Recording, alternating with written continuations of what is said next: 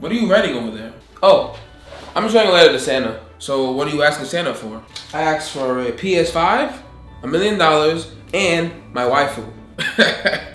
Good luck with that. All right. Dear Santa, I want a PS5.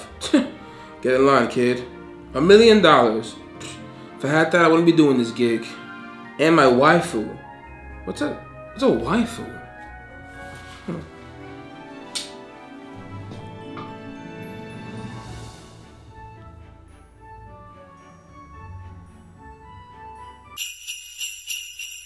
So, did you get everything you asked for? Nah, I didn't get everything. But I did get one of them. はいリマ様という素敵な女性と Wait, wait, wait. i- Is is she real? Yeah, she is real. But she asked for us to have adult nap time. I don't even know what that means. Dear Santa, I know it's been a while, but